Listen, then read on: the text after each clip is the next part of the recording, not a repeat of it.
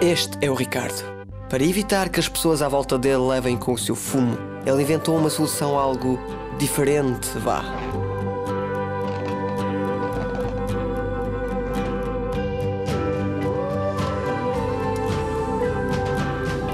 Bom, Ricardo, pelo menos tentaste. Mas para formas eficazes de proteger as pessoas do teu fumo, vai antes a helptravessãoeu.com. Aproveitas e deixas lá a tua ideia.